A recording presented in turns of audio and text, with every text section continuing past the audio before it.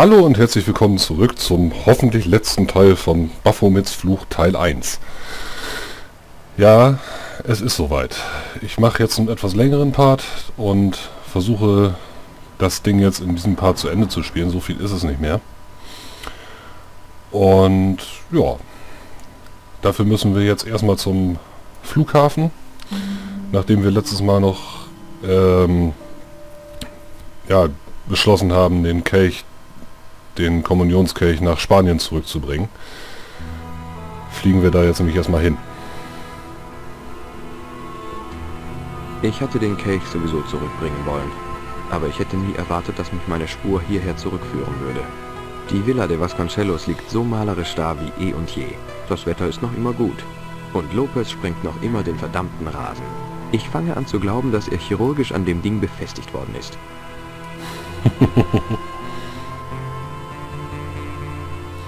Hallo Lopez, was macht die Kunst? Senor Stobbart, wie schön Sie zu sehen. Geht es Ihnen gut? Prima, danke. Ist die Gräfin da? Sie wartet auf Sie. Ich bringe Sie rauf. Ist schon gut, ich kenne den Weg.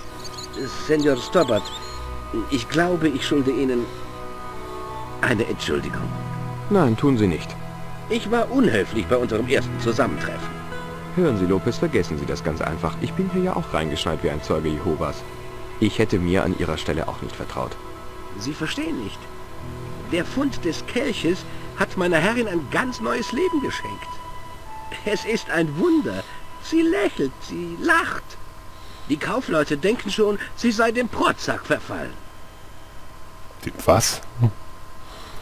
Ich habe keine Ahnung, was er da gerade gesagt hat. Aber es klang nicht so wirklich schön. Na, dann wollen wir mal mit der Gräfin Smalltalk betreiben. Alle, yep. Und hoch da.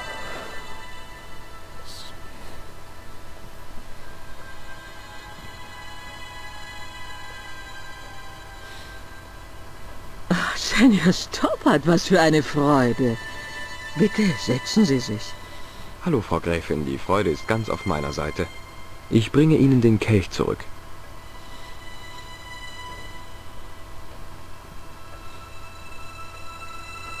Oh, Sie haben ihn gereinigt. Ja, da war dieser hilfsbereite Priester mit dem weichen Lappen. Haben Sie das Rätsel der Tempelritter gelöst? Nein, noch nicht. Ich weiß noch nicht einmal genau, was ich eigentlich suche. Es gibt viele Geschichten über Tempelritter, die große Reichtümer heimlich beiseite schaffen. Was auch immer. Alles, was ich weiß, ist, dass ich es nicht den Bösen überlassen will. Ach, noch einmal jung zu sein und in einer Welt mit absoluten Moralbegriffen zu leben. Ja, ich glaube, davon ist sie weit entfernt, noch einmal jung zu sein. Ich habe noch etwas entdeckt, das in den Sarkophag von Don Carlos geschnitzt war. Biblische Stellenangaben. Was für Zitatstellen? Senor Stoppard. Psalmen 32,7, Korinther... Ich bin nicht bewandert genug in der Bibel, um Kapitel und Vers auswendig zuordnen zu können. Was ich meinte war, wie lauten die Zitate? Das habe ich doch glatt zu fragen vergessen. ich habe etwas Erstaunliches mit Hilfe dieses Kelches entdeckt. In Paris habe ich eine Kirche gefunden, in der man das Wappen erkannte. Ich habe dort das Grab von Don Carlos de Vasconcelos gefunden. Sind Sie sicher? Kann es sich nicht um einen Irrtum handeln? Das Wappen auf dem Kelch stimmt mit dem auf dem Grab überein. Unglaublich. Ihnen gebührt mein zutiefst empfundener Dank. Ich muss so schnell wie möglich dorthin. Klar, ich wäre glücklich, Ihnen die Stadt zeigen zu dürfen. ja, ich glaube, sie musste auch relativ schnell hin, weil sie nicht mehr allzu viel Zeit auf diesem Planeten verbringen könnte. Ich schaue mich mal um, wenn ich darf. Mein Haus ist auch Ihr Haus. Ich werde hier bleiben. Ja, und ich werde jetzt gehen.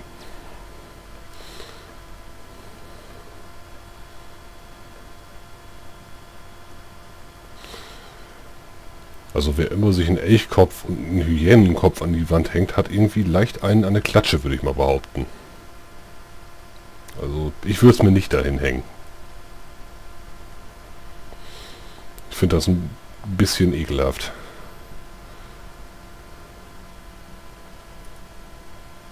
Ich würde mir auch sonst eigentlich keine ausgestopften Tiere irgendwo hinstellen. Also, das ist einfach nicht meins. Vielleicht ein Wikingerhelm, weil da Hörner dran sind, aber wenn da der Kopf, Tierkopf noch dran hängt, nee. Lieber nicht.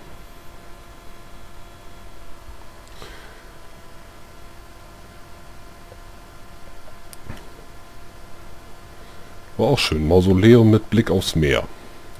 Das, das ist eine Wohnung. Ja gut, das Mausoleum ist keine Wohnung. Aber das ist ein Anwesen, was mir wohl wirklich gefallen würde.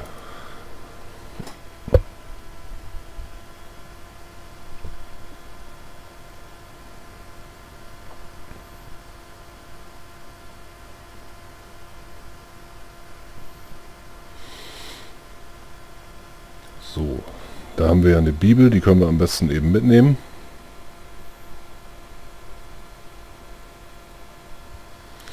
Dann können wir nämlich auch gleich irgendwie mal gucken, dass wir die Bibelstellen da irgendwie aufgelöst kriegen. Ach nee, Quatsch. Ich wollte das Fenster zumachen. Und jetzt können wir das Taschentuch dranhängen. Das ist nämlich, dass wir jetzt mit dem Taschentuch an diesem Stock an die Kerze gehen können und dann oben die... Was macht denn jetzt? Ach, George, du kleiner Dussel.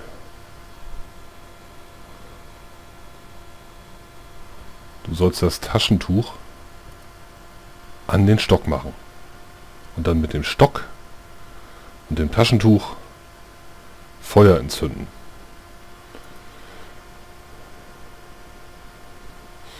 Na toll, man klickt auf, klickt auf die linke Kerze und er zündet es an der rechten an. Und wenn man auf die rechte Kerze klickt, dann stellt er den Stock wieder weg. Was ein Idiot.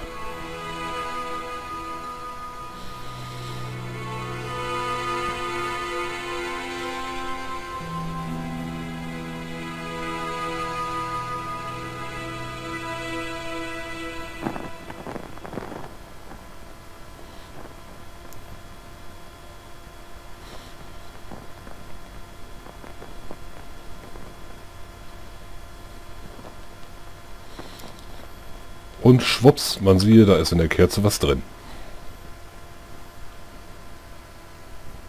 Die Kerze hat besonders hell gebrannt, aber nur wenige Minuten. Irgendeine besondere Mischung vermute ich. Das hier ist dabei herausgekommen. Eine komplexe Form, von Expertenhand aus Stein geschnitten. Ich halte es für eine Art Schlüssel. Dann wir doch, sind wir doch mal gespannt, was dieser Schlüssel nachher aufschließt. Und ich glaube, wir sollten mal zurück zur Gräfin gehen und ihr davon äh, erzählen und ihr dann diesen Figur Schrägstrich Schlüssel zeigen.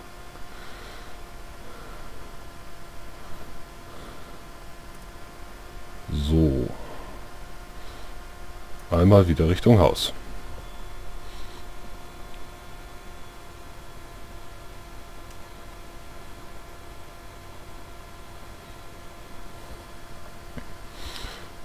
wir könnten auch eben Lopez fragen, ob der was drüber weiß. Vielleicht auch, wäre vielleicht auch eine Idee. Hallo Lopez, haben Sie kurz Zeit für mich?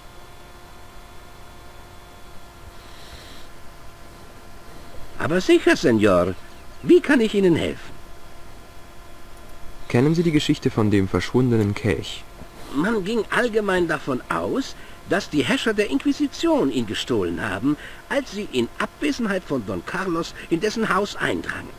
Natürlich haben die alles geleugnet, genau wie sie leugneten, die Kinder verschleppt zu haben. Und ebenso natürlich glaubte ihnen niemand. Aber Sie haben doch die Wahrheit gesagt. Der Kelch war gut vor Ihnen versteckt worden. Und Sie glauben nicht, dass Sie auch in Bezug auf die Kinder die Wahrheit gesagt haben? Madre Dios, daran habe ich ja noch gar nicht gedacht. Aber was ist dann mit Ihnen passiert? Ich weiß es nicht. Wenn die Inquisition Sie nicht mitgenommen hat, wer dann? Sie müssen mit meiner Herrin darüber sprechen. Verlassen Sie sich drauf. Die Gräfin hat also das Gefühl, dass der Fluch von ihrer Familie genommen wurde. So direkt würde ich das nicht sagen. Ihre Entdeckung des Kelches ist der Beweis, dass die Tempelritter die De Vasconcellos nie im Stich gelassen haben. Das bedeutet meiner Herrin sehr viel. Äh, Wissen Sie, was das hier ist? Nein, Senor. Ist das eine Art Schlüssel? Ja, ich glaube so etwas ähnliches. Woher haben Sie ihn? Er war in der großen Kerze im Mausoleum versteckt. Und Sie haben sie abgebrannt. Ich habe mich schon gefragt, was das für Licht war, das ich durch das Fenster gesehen habe. Meine Herren wird wütend sein. Diese Kerze war Jahrhunderte alt. Aha. Diese Bibel ist auf Spanisch. Sie? Ich hätte eher Latein erwartet. Seien Sie vorsichtig damit. Das war ein Geschenk für meine Herrin von einem alten Freund. Er starb vor langer Zeit. Und das Buch ist ihr einziges Andenken an ihn. Okay, ich pack's mit Samthandschuhen an. Oh Mann. Bis später, Lopez. Adios, Senor Stobart. Dann wollen wir die Gräfin doch mal fragen, was sie zu den beiden Gegenständen meint. Und lassen Lopez dann in Ruhe weiter seinen Rasen sprengen. Der müsste eigentlich schon knöcheltief im Wasser stehen. Aber naja. Soll nicht mein Problem sein.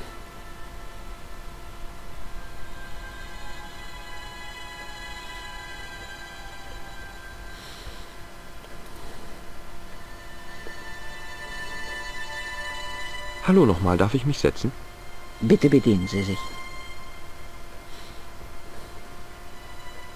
Was halten Sie hiervon? Das sieht aus wie eine Art Schlüssel. Wo haben Sie den her? Er steckte in der großen Kerze im Mausoleum. Innen drin? Was haben Sie damit gemacht? Ich habe sie äh, angezündet. Aber die ist unersetzlich. Hören Sie, die Kerze sollte in dem Fall angezündet werden, dass die Mauren angreifen, richtig? Also sie ist in Windeseile runtergebrannt und hat diesen Schlüssel freigegeben. Vielleicht war das der eigentliche Zweck, warum die Kerze angezündet werden sollte.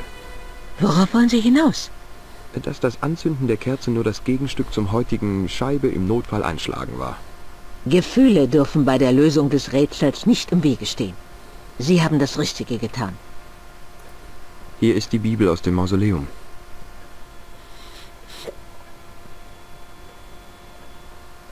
In Ordnung. Fangen wir an. Die erste Bibelstelle. Psalmen 32, 7. Du bist mein Versteck. Du rettest mich vor Ärger. Mein Versteck. Schrauben Sie Ihre Hoffnungen nicht so hoch. Das kann uns ebenso gut nur zu dem Versteck führen, wo wir den Kelch gefunden haben. Sie haben natürlich recht. Das nächste Zitat. Okay, Johannes 4, 11. Johannes 4, 11. Hier. Der Brunnen ist tief. Das nächste, schnell. Okay, okay. Äh, Korinther 4, 5. Hier ist es.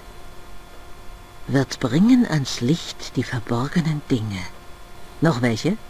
Nur noch eins. Nochmal Psalmen 22, 21. Errette mich vor dem Maul des Löwen, denn du hast mich erhört unter den Hörnern der Einhörner. Das letzte ist verwirrend. Löwen, Einhörner? Was bedeutet das? Ich kann es nicht mal raten. Die Kernpunkte scheinen aber das Versteck und der tiefe Brunnen zu sein. Aber ein Mausoleum ist in keinem Sinn des Wortes ein Brunnen. Senior Stoppard. Gibt es denn einen Brunnen auf dem Anwesen?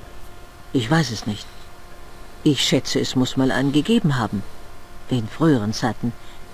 Lopez ist der Mann, der sich mit allem auskennt, was mit dem Haus zu tun hat. Den müssen Sie danach fragen. Ja, dann wollen wir das doch mal eben äh, flugs tun. Ich schaue mich noch ein wenig um. In Ordnung. Vielleicht weiß Lopez als die gute Seele des Hauses ja doch ein bisschen was über die Vorgeschichte des Anwesens. Aber vorher nehmen wir noch eben den Spiegel damit.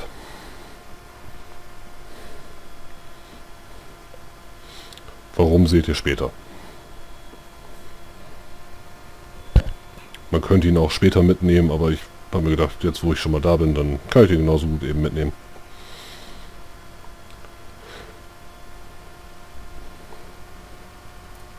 So, wo haben wir den guten Lopez? Da.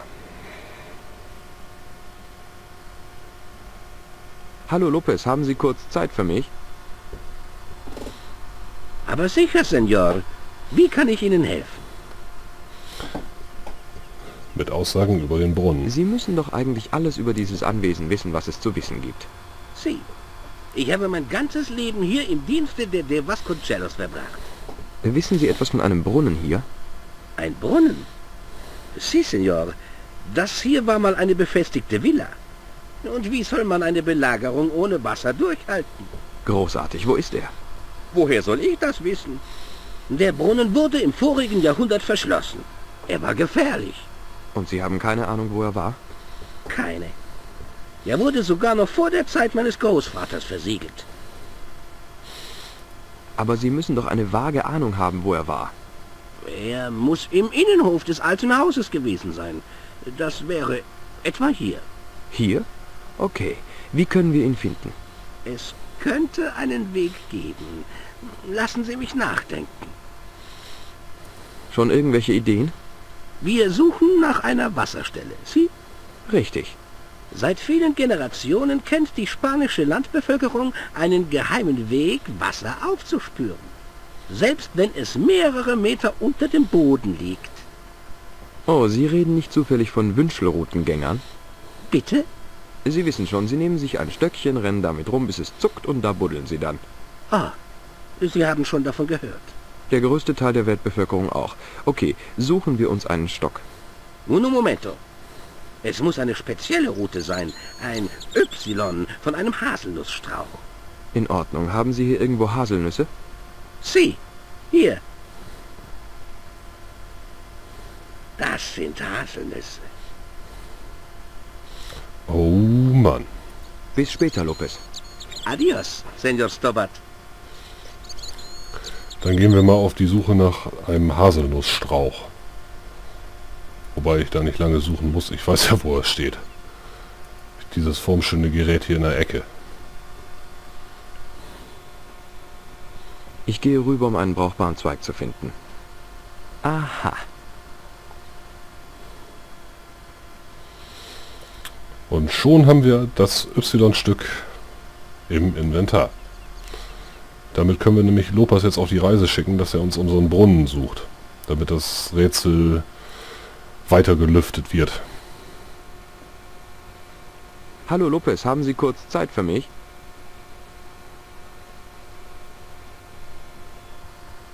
Aber sicher, Senor. Wie kann ich Ihnen helfen?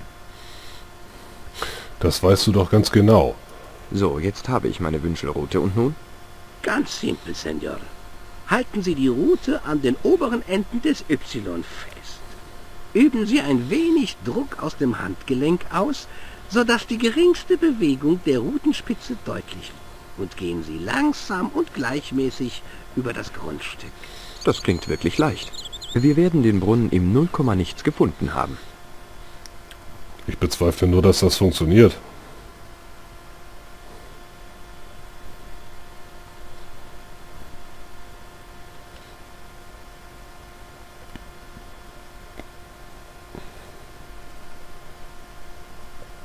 Vor allem, dass es schnell funktioniert.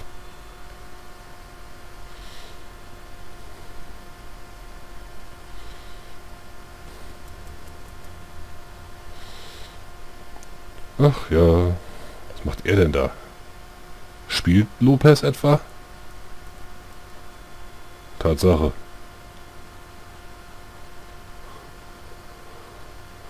Senor Stobbart, Sie... Sie haben etwas gefunden. Das hier ist es. Hier finden wir den Schatz der Templer. Seit Hunderten von Jahren hier verborgen. Den Blicken der Welt entzogen bis heute. Das Geheimnis ist enthüllt. Es ist eine Blechdose. Ich bin hier mit dem Zweig in der Hand rauf und runter gelaufen, um eine Blechdose zu finden? Da steht noch Wasser drin. Das muss die Wünschelroute entdeckt haben. Ich müsste mal einen Archäologen fragen, aber ich glaube nicht, dass die Tempelritter diese Dose hinterlassen haben. Obwohl, Senor Stobbart, dieser Rasen vor sehr, sehr langer Zeit angelegt worden ist. Diese Dose könnte sogar noch aus dem Napoleonischen Krieg stammen. Schmeißen Sie sie weg und ich versuch's nochmal. Lopez wirft die Dose weg. Sie scheint sehr, sehr tief zu fallen.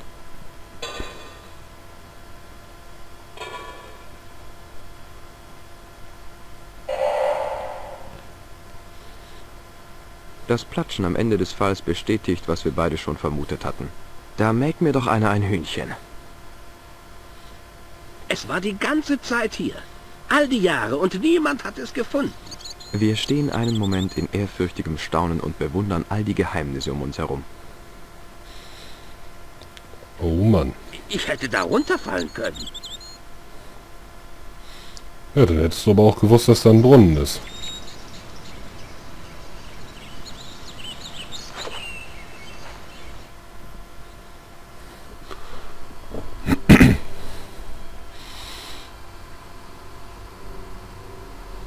Die Quelle ist seit Jahrzehnten verschwunden. Die Luft ist kühl nach der Hitze der Mittagssonne. Aber das ist nicht der Grund für die Gänsehaut auf meinen Armen. Ich habe ein wirklich, wirklich schlechtes Gefühl bei dieser Sache. Ja, ich nicht. Ich werde gleich nur mal eben kurz speichern, weil das wieder so eine Stelle ist, äh, die ein bisschen tricky ist. Da muss man ziemlich schnell sein und ähm, kann dabei auch drauf gehen. Deswegen werde ich das mal eben schnell speichern. Ne, Quatsch, den Namen gibt's schon. Nehmen wir so. Das muss man nämlich hier den Löwenkopf untersuchen. Aus der Entfernung ist der Löwenkopf recht beeindruckend. Von nahem ist er furchterregend. Hey, einer der Reißzähne ist lose. Ja, dann benutzen. Ich und ich weiß.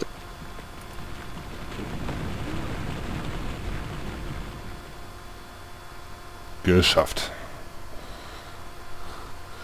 Sehr komisch, ihr Gestörten. Senor Stobbart, Senor Stobbart. Sind Sie in Ordnung? Es ist okay, Lopez, mir geht's gut. Jesus du me Dada. Sie haben mich erschreckt. Netter Versuch, Templer. Ja, ja ich hab, äh, wollte es beim ersten Mal gleich schaffen. Deswegen habe ich auch ein oder zwei Dialogzeilen weggeklickt. Weil ich halt nicht wusste, wann genau ich den Mauszeiger wieder sehe und dann halt mich bewegen kann. So. Wie wir hier sehen, ist das ja alles ein bisschen dunkel. Deswegen habe ich auch den Spiegel mitgenommen. Den können wir nämlich jetzt mit dem Sonnenlicht benutzen und dann da reinscheinen. Wenn George dann kapiert, was ich von ihm will.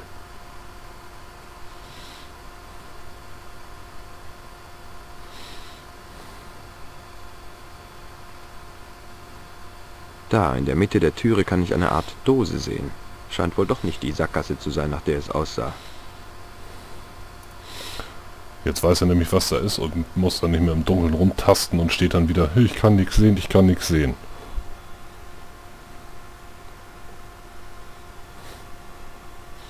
Da ich jetzt weiß, wonach ich suchen muss, finde ich es innerhalb weniger Sekunden.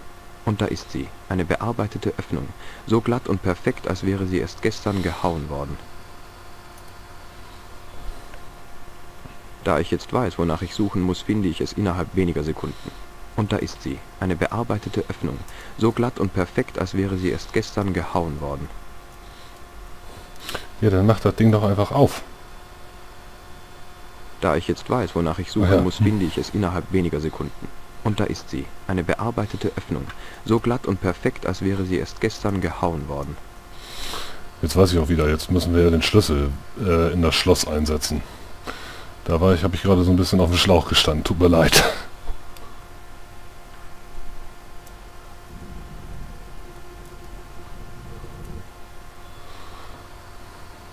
Sesam, öffne dich.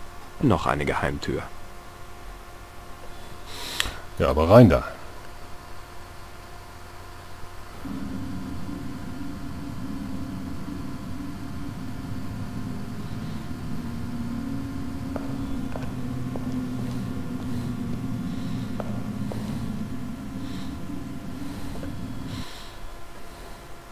Bevor ich gehe, muss ich noch etwas erledigen.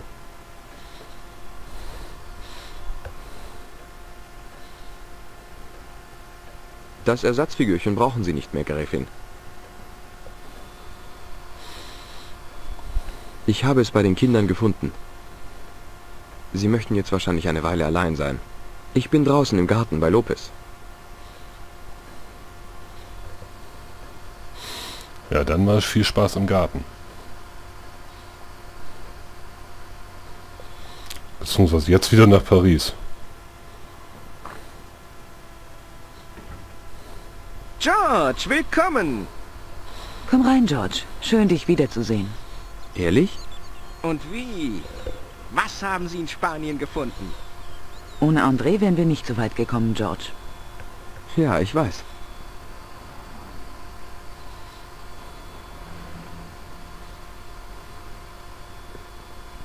Die Spur führt zu einer unterirdischen Kammer am Grunde eines Brunnens.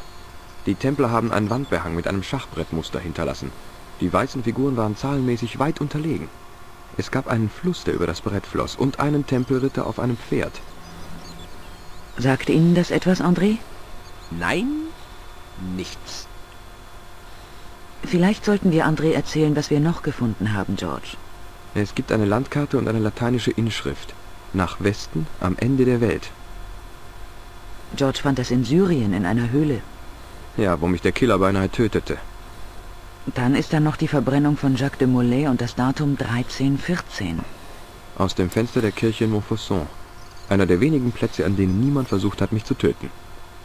Dann haben wir das Abbild einer Kirche, das George bei der Ausgrabung gefunden hat.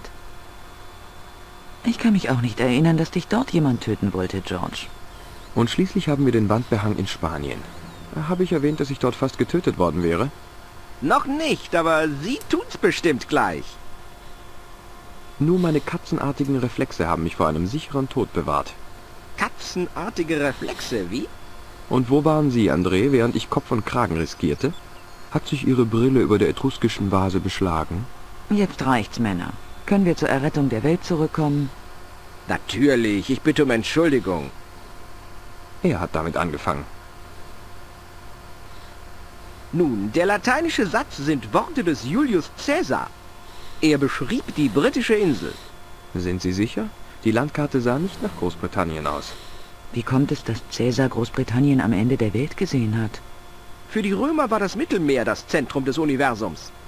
Großbritannien war ein entfernter, unfreundlicher Ort, den blau bemalte Wilde bewohnten. Hat sich nicht sehr verändert. Sie malen sich nicht mehr blau an. Außer wenn sie zum Fußball gehen.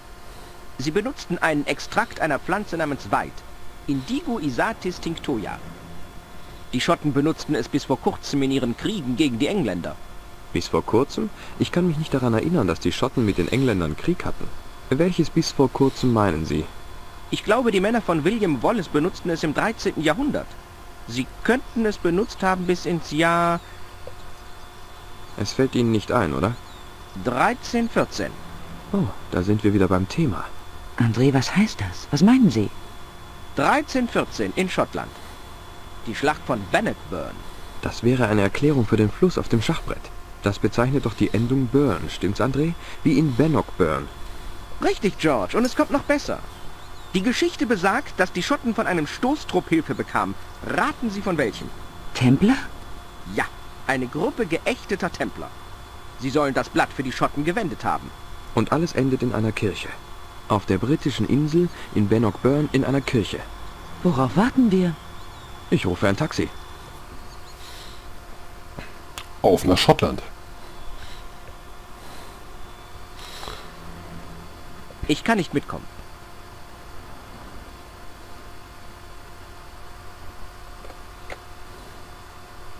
André, Sie waren eine große Hilfe, aber George versucht Ihnen zu sagen, Sie sollen sich nicht schuldig fühlen. was habe ich? Wir verstehen. Sie haben Verpflichtungen. Wir müssen uns beeilen. Vergiss das Taxi, George. Wir ziehen das durch und machen Sie sich um uns keine Sorgen. Attacke nach Bannockburn.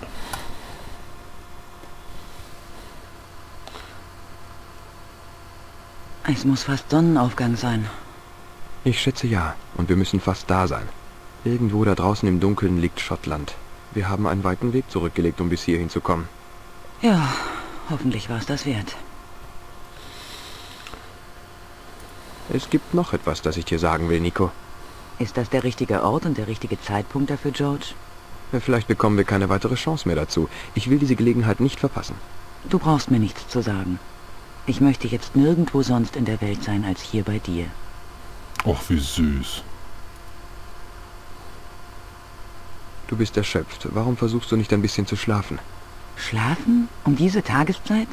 Aufgeregt, wie? Möchten Sie etwas, um besser schlafen zu können, Liebes?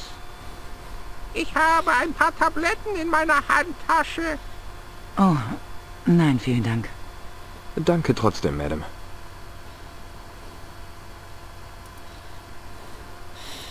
Verzeihen Sie. Ja, mein Lieber, Wissen Sie, wann wir in Sterling ankommen sollen? Um Viertel vor sechs. Aber wir haben schon acht Minuten Verspätung. Oha. Kennen Sie sich in Sterling gut aus? Ja, zufällig schon. Wollt ihr beiden Turteltauben dahin? Ja, wir...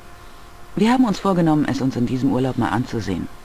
Vergesst nicht, das Schloss zu besichtigen, ja? Ich bin sicher, es ist ganz hübsch da, aber wir stehen nicht so sehr auf Geschichte, nicht wahr, George? Äh, nein. Ich vermute, Espresso-Bars und Boogie-Woogie sind mehr euer Stil, was, Kinder? Das stimmt. Es gibt nichts, was George mehr Spaß macht als ein guter Boogie. Hell yeah. Gibt es in Sterling eine Kirche namens St. Ninians? Oh ja. Und ich weiß genau, warum ihr dahin wollt. Ach, wirklich? Natürlich. Es ist doch offensichtlich, dass ihr beiden verliebt seid. Ihr seid weggelaufen. Ach, und da sagt man, es gäbe keine Romantik mehr. Oh Mann. Was für ein Buch lesen Sie da gerade? Och, das habe ich mir am Bahnhof geholt. Eine mittelalterliche Detektivgeschichte. Für so ein Rumänchen sehr gut geschrieben. Wird schon ein paar Jahre nicht mehr gedruckt. Wenn es ein paar Jahre nicht mehr gedruckt ist, warum kauft man das dann am Bahnhof? Also da ist doch normalerweise sind da nur Neuerscheinungen. Also irgendwas stimmt da nicht so ganz. Wie heißt das Buch? Der Fall des verschlagenen Kreuzritters von Molly Pegram. Ich hatte angenommen, der Autor sei eine Frau, aber offenbar stimmt das nicht. Sein richtiger Name ist... Professor Nigel Pegram. Das stimmt. Kennen Sie ihn? Nein, ich habe ihn noch nie kennengelernt. Aber George ist trotzdem ein großer Fan von ihm. Echt, ist er das? Ach ja. Ich glaube, George sollte sich mal ein bisschen die Beine vertreten. Wohin gehst du, George? Muss ich dir das wirklich sagen? Sei doch nicht gleich so schnippisch. Wenn du ein Leck abdichten musst, dann sag mir das doch einfach. Okay, ich gehe gerade mal ein Leck abdichten.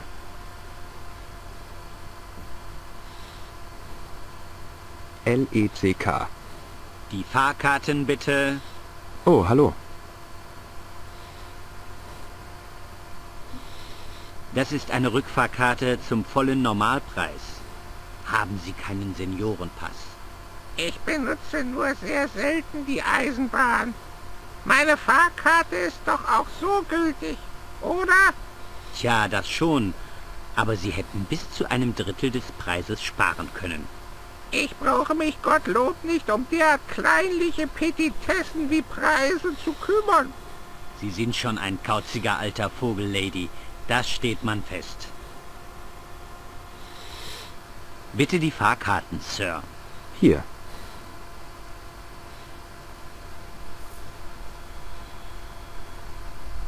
Unterwegs nach Stirling, wie?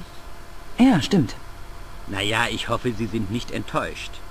Ist um diese Jahreszeit ein lausiger Ort.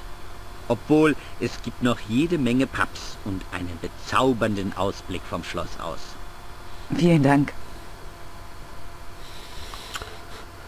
Ich will dich ja nicht beunruhigen, aber irgendwas an diesem Typ kommt mir sehr bekannt vor. Bist du sicher? Du bist müde, vielleicht irrst du dich ja. Kann sein, aber mir gefiel der Blick in seinen Augen nicht, als er mit dir gesprochen hat. Hm. Kannst du nicht mal still sitzen, George? Ich muss mal zur Toilette. Kannst du unterwegs mal in den Speisewagen gucken, George? So unvorstellbar das sein mag, aber ich bin hungrig genug, um englisches Essen zu mir zu nehmen. Okay. Also dann muss man wirklich schon verdammt hungrig sein, um englisches Essen zu, zu vertilgen. Gitti, gitti, gitt.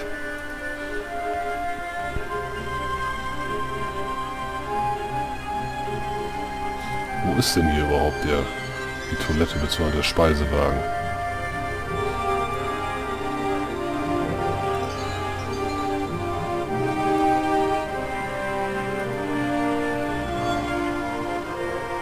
Oh nein, dieser Gangster aus dem Hotel, Guido.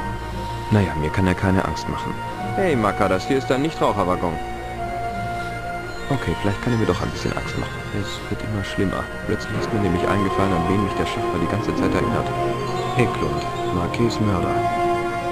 Oha, dann nichts wie zurück nach äh, Nico gucken. Nicht, dass der da irgendwelche komischen Sachen anstellt. Da ist der Nachbarwaggon. Das müsste unser Abteil sein.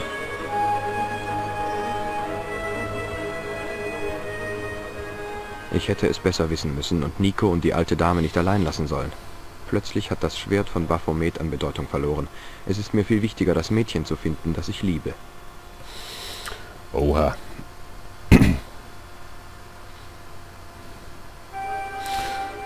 Gute Frage. Gehen wir doch einfach mal da rein. Vielleicht hat der Mensch ja was gesehen. Der pennt. Hi, kleine Party? Nö, das ist Frühstück. Komm, lang zu, Mann. Hey, Becher, wach auf, Mann. Wir haben Besuch. Sein Atem erinnert mich an den Abluftkanal einer Chemiefabrik. Entschuldige, mein Kumpel. Macht nur ein Nickerchen. Schläft wie ein Säugling. Ich weck ihn, wenn wir nach Newcastle kommen. Wir sind schon vor einer halben Stunde durch Newcastle gefahren. Hab ich gar nicht gemerkt. Tss. OMG. Habt ihr gesehen, was mit der jungen Frau im Nachbarabteil passiert ist? Nein, Kumpel, kein Stück. Ist sie dir irgendwie verloren gegangen? Sie ist einfach verschwunden. Die alte Dame auch. Ich glaube, sie sind in Schwierigkeiten. Was ist, Mann? Eine alte Dame auch? Jau, ihr müsst mir helfen. Vielleicht sind sie nur auf Klo oder so. Das glaube ich nicht. Die gehen nie alleine. Immer zu zweit, weißt du? Nein, sie ist entführt worden, da bin ich ganz sicher. Ich muss sie suchen gehen. Worauf wartest du dann, Kumpel? Der Schaffner, er ist nicht das, was er vorgibt. Willst du ihm aus dem Weg gehen? Schätze schon, ja. Überhaupt kein Problem. Hör mal, ich brauche deine Hilfe. Was denn los? Da ist ein Typ im Zug, der mich umbringen will. Ganz ruhig, Mann. Der versucht schon nix, solange du bei mir und Becher bist. Wir sind Veteranen, waren im Breitling Sea dabei. Ich kann mich gar nicht daran erinnern, dass die britische Armee an einem Konflikt an einem Ort namens Breitling Sea beteiligt war. Vertrau mir, Macker. Du bist in sich... Sicherheit. Was sauft ihr da eigentlich für einen Fusel? Stinkt eher wie Flugzeugsprit. Jau, und gibt Haare auf der Brust wie Jeck. Wohl auch auf den Augäpfeln, so wie du aussiehst. Oh Mann. Bis später. So. Links steht Guido. Rechts ist der Zug zu Ende. Also gehen wir einfach mal raus. Hm. Tu es nicht, Junge. Spring nicht. Ich habe nicht vor zu springen. Ich klettere auf das Zugdach. Du machst auch Witze, oder? Dann schau mal gut hin. So, eben schnell abspeichern. Jetzt kommt nämlich wieder eine Passage, in der man eventuell draufgehen könnte. Wenn man nicht schnell genug ist. Und dann muss ich nicht das Ganze nochmal spielen. Warte, Freundchen, ich helfe dir. Ups.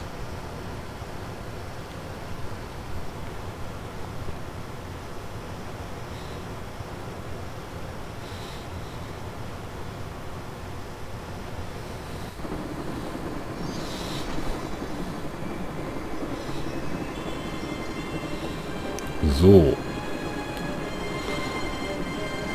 Hm. Jetzt sind wir auf dem Zugdach und ich würde vorschlagen, wir gehen mal nach da.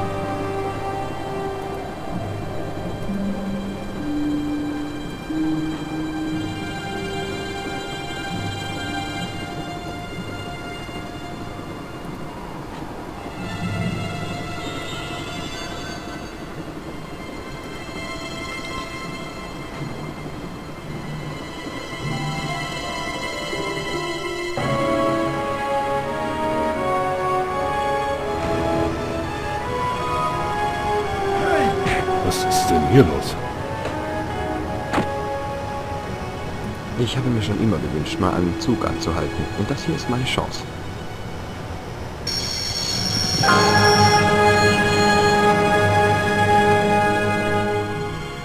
Sie haben uns das Leben gerettet. Warum?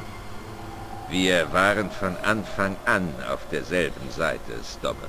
Unterschiedliche Gründe, aber den gleichen Feind. Die Tempelritter? Nennen Sie dieses Pack nicht so. Die echten Templer waren ein nobler Gegner. Diese Barbaren haben kein Anrecht auf den Namen. Diese Männer sind nicht besser als wilde Hunde. Hinter was sind diese Neotempler her? Was ist das Schwert von Baphomet? Nicht, was Sie glauben, mein Freund. Ja, es ist schon eine Waffe, aber eine, mit der unsere Feinde ihre liebe Not haben. Ein zweischneidiges Schwert. Eine Macht, die älter ist als Demolay, älter als Salomon. Wir werden sie aufhalten. Sie, sie, sie und ich zusammen. Und Nico. Nein, George. Meine Reise endet bald. An der Pforte des Paradiesgartens. Sie sprechen in Rätseln. Können Sie mir nicht einfach sagen, was Sie suchen? Das Schwert symbolisiert eine gewaltige Energie, die durch eine Ausrichtung der natürlichen Kraftfelder der Erde verursacht wird. Und die ihren Brennpunkt in St. Ninians hat. Diese Energie gab den Tempelrittern die Macht, die sie groß gemacht hat. Eine Macht, die sie so charismatisch werden ließ, dass sie den Willen aller Menschen um sie herum kontrollieren konnten. Ah, ja. Wie sind Sie vom Bull's Head entkommen? Es ist ein weiter Fußmarsch von der Klippe des Bull's Head zum Dorf, Stobbart. Glücklicherweise bin ich erfahren im Überleben in der Wildnis. Außerdem habe ich eine Schwester, die dort direkt um die Ecke eine Tankstelle betreibt. Das ist nicht verkehrt. Möge Allah sie führen zu ihren Feinden. Danke. Noch ein letzter Punkt. Was? Was wollen Sie? Er ist tot. Das ist doof. Na, dann wollen wir erstmal Nico befreien. Nico sieht verdammt gut aus, sogar in Seilen. Der Hinterausgang ist versperrt und verschlossen. Du sollst ja auch Nico losmachen. Denk gar nicht erst dran, George. Was? Wer? Schau mir direkt in die Augen und dann sag mir, dass du nicht gerade daran gedacht hast, diese Axt bei Eklund anzuwenden. Sei doch nicht so naiv, Frau. Ich wollte sie bei dir anwenden. Ich will Nico ja losmachen. Nico sieht verdammt gut aus, sogar in Seilen. Hallo? Wieso darf ich das nicht? Der Hinterausgang ist versperrt und verschlossen. Äh, Mir fällt keine einzige Möglichkeit ein, wozu ein Feuerlöscher ohne ein prasselndes Feuerchen zu gebrauchen wäre. haben wir denn vielleicht irgendwas übersehen hier? Irgendwo unter dem Haufen zusammengestürzter Kisten ist Eklund. Ich habe nicht vor, ihm daraus zu helfen. Ich will ja Nico losmachen. Nico sieht verdammt gut aus, sogar in Seilen. Ah, verdammte Axt. Hey, was glaubst du, wo du hingehst? Hey, keine Bange, ich hab dich schon nicht vergessen. Binde mich gefälligst auf der Stelle los, George Stobbart. Mache ich, sobald ich bereit bin.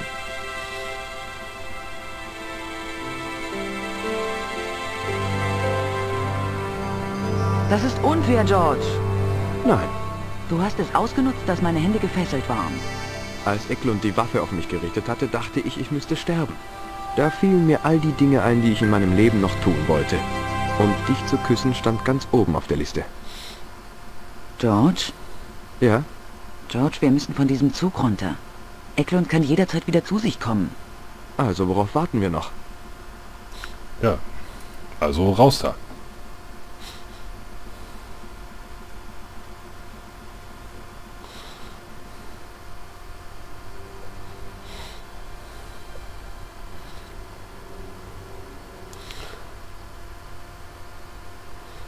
Sind wir denn hier gelandet? Irgendwo mitten in der Pampa. Grabsteine. Verwitterte Bäume. Ah, eine Kirchenruine. Wie auch immer George die jetzt gefunden hat.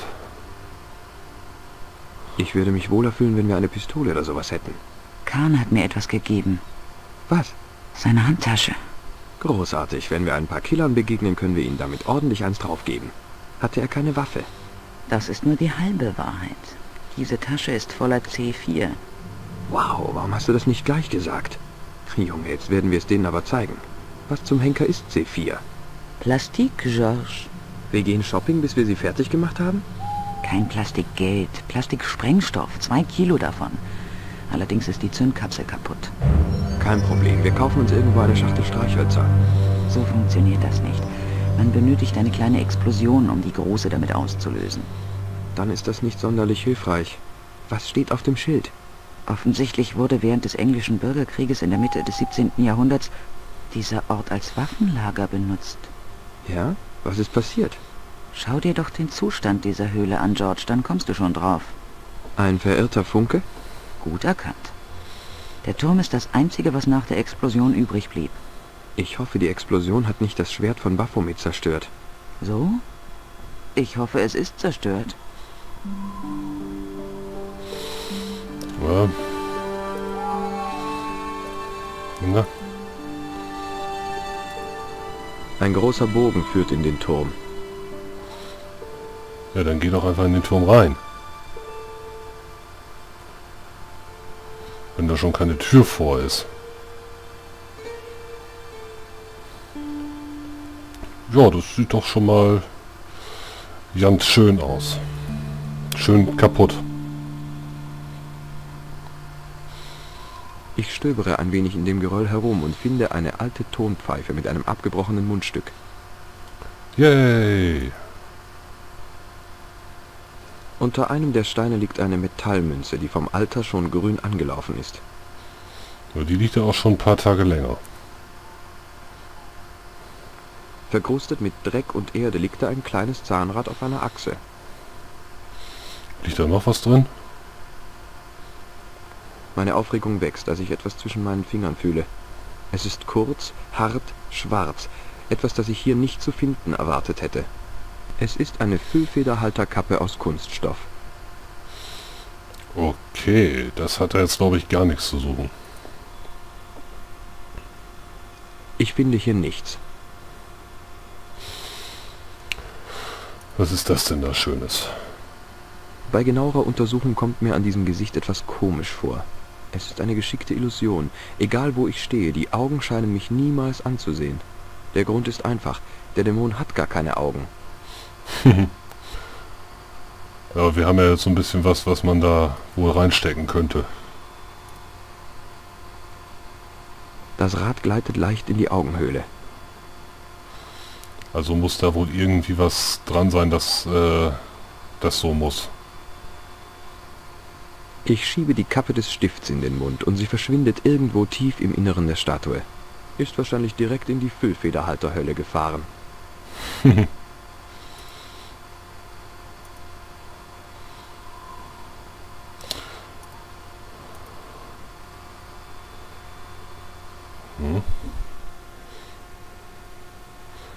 glaube, da habe ich gerade irgendwie was falsch gemacht. Aber eigentlich muss das alles drei da in diese Statue rein.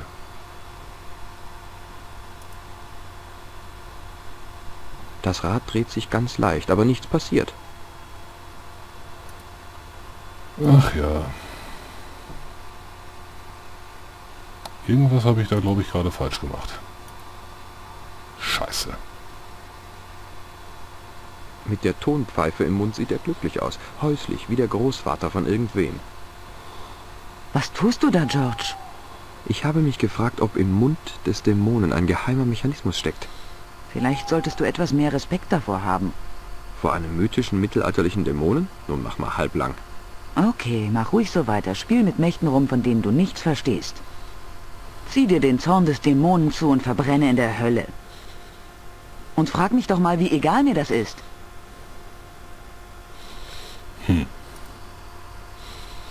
Der Griff lässt sich leicht drehen. Das große Rad beginnt sich zu bewegen.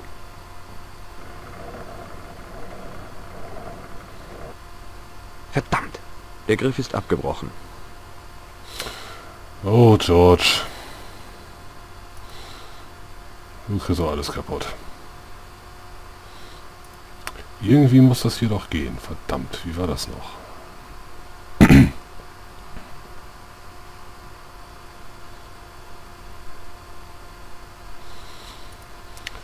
Ah. Verdammt nochmal. Habe ich mich da jetzt so vertan?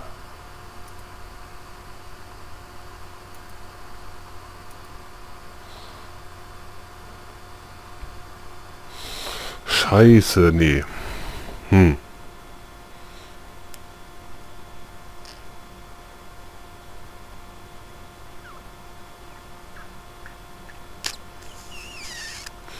Ich muss mal kurz überlegen. Warte mal, wir haben ja hier eine Münze. Irgendwie brauchen wir noch ein zweites Zahnrad.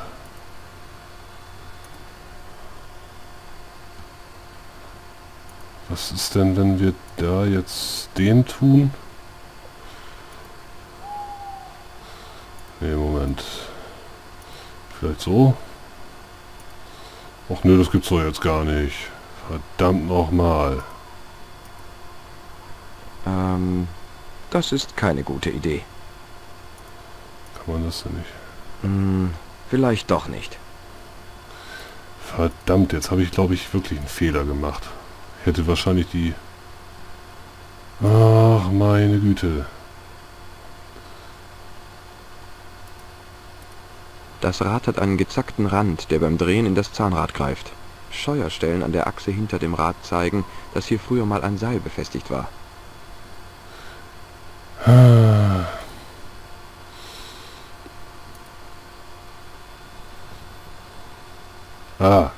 Ohne den Griff war es leicht, das Zahnrad samt Achse zu entfernen. manchmal sieht man auch den Wald vor lauter Bäumen nicht. Ah, ich bin auch wieder so doof. Mit dem Kratzen von Metall auf Stein stecke ich das zweite Auge an seinen Platz. Ja, dann können wir nämlich jetzt hier mal so ein bisschen rumkurbeln. Ich schiebe den Griff in den Mund des Dämonen. Die Zahnräder greifen alle ineinander.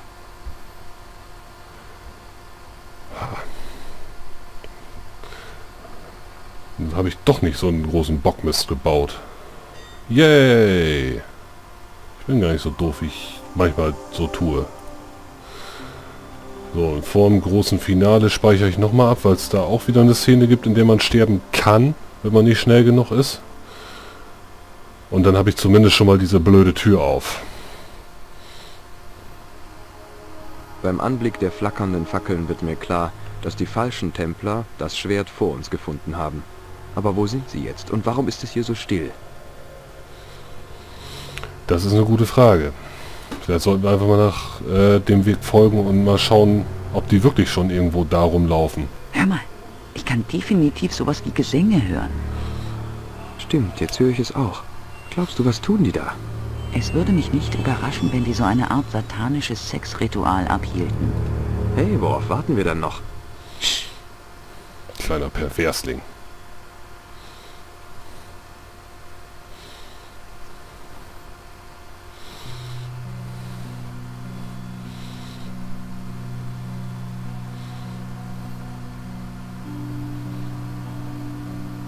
Jetzt schau dir das bloß an. Baphomet. Lobino hatte recht. Dieser Ort war sogar für die Tempelritter schon uralt. Dieser ganze Ort. Das ist Baphomet. Endlich die Wahrheit. Die Templer hatten nie dieses Abbild verehrt, wie sie auch nie einen Regenbogen verehren würden. Aber ebenso wie den Regenbogen betrachteten sie es als ein Sinnbild ihres Bundes mit Gott, der ihnen diesen Ort offenbart hatte. Rousseau. Sie... Sie elender, verräterischer... Ganz im Gegenteil.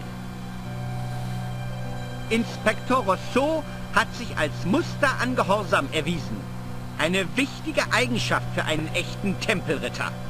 Nun seid still und schaut zu, wenn euch am Leben zu bleiben genehm ist.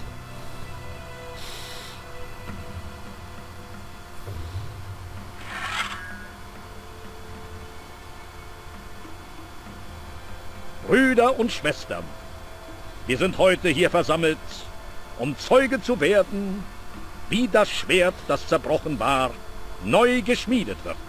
Hier vor Gottes Wache. Baphomet,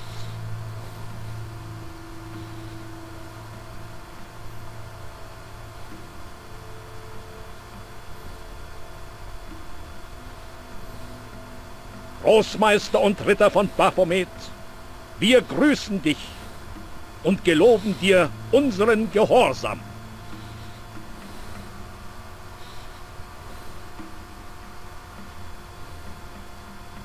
Ich grüße euch, Torwächter des Tempels.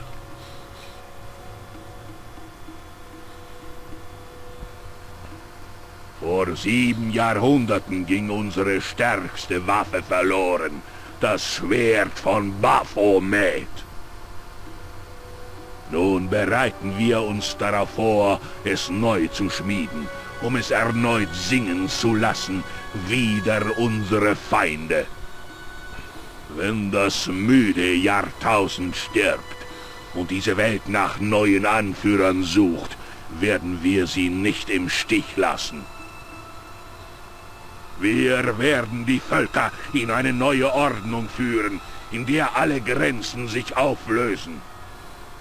Alle werden vereint sein unter dem roten Malteserkreuz der Templer.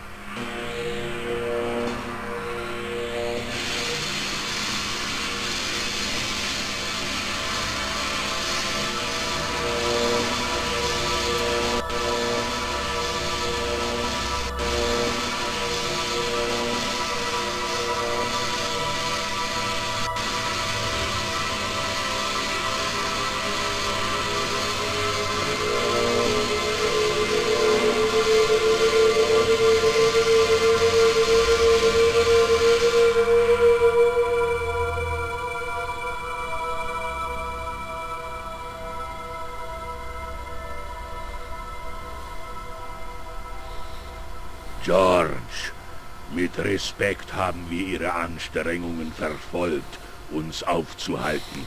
Aber Sie sehen doch jetzt sicher ein, dass Sie von unseren Feinden in die Irre geführt worden sind, oder? Wir wollen beide eine bessere Welt. Zum Glück ist ja noch nichts Schlimmes passiert. Wir können entschlossene, einfallsreiche Männer wie Sie brauchen. Werden Sie einer von uns, George? Treten Sie uns in wahrer Bruderschaft bei. Klar, wahre was? Brüder? So wie Marquet? So wie Pegram und Klausner? Die haben sie nicht als Brüder betrachtet, sondern als Versager. Drei Männer sind tot. Und ihnen ist das scheißegal. George, Sie wissen doch, dass Opfer nötig sind. Jedes große Unterfangen... Einer von ihnen werden? Fahren sie zur Hölle.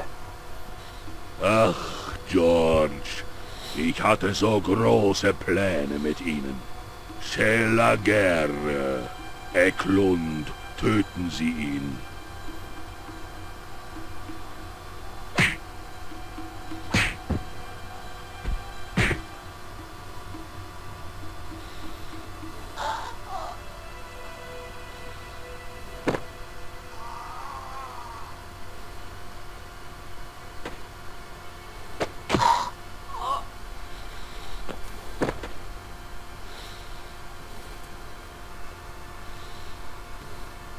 Ich schwöre es.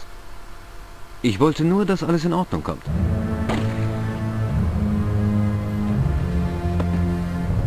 Schnappt sie euch! Tötet sie! Sie werden uns nicht entkommen!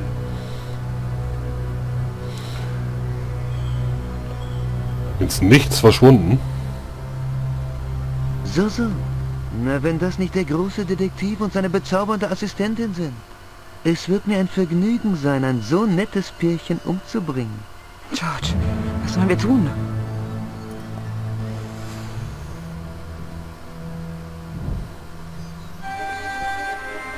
Komm schon, Nico, wir hauen ab. Ihr Narren, ihr könnt uns nicht entkommen. Guido, halt sie auf! Aber Meister, das Pulver. Das Pulver stammt noch aus dem Bürgerkrieg. Und zwar aus dem Englischen, du Idiot. Es ist über 300 Jahre alt. Was glaubst du, wie explosiv das noch ist? Ich dachte gerade, jetzt sei alles vorbei, aber Nico hat noch ein Ass im Ärmel. Oder genau gesagt in ihrer Handtasche. Eine Handtasche voller Plastiksprengstoff. Kann sein, aber dieses Zeug hier ist noch ganz frisch.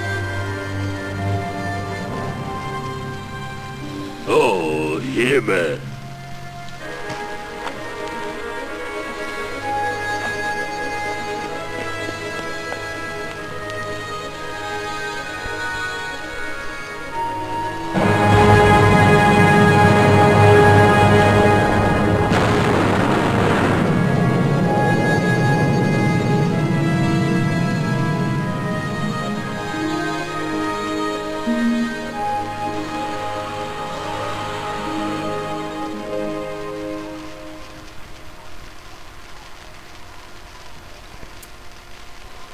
Weißt du, jetzt kannst du deine Geschichte nie fertig schreiben.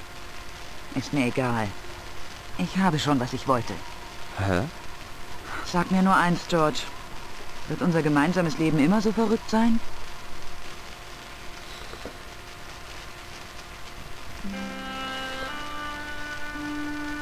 So, liebe Freunde, das war das erste Let's Play, was ich in Gänze gemacht habe.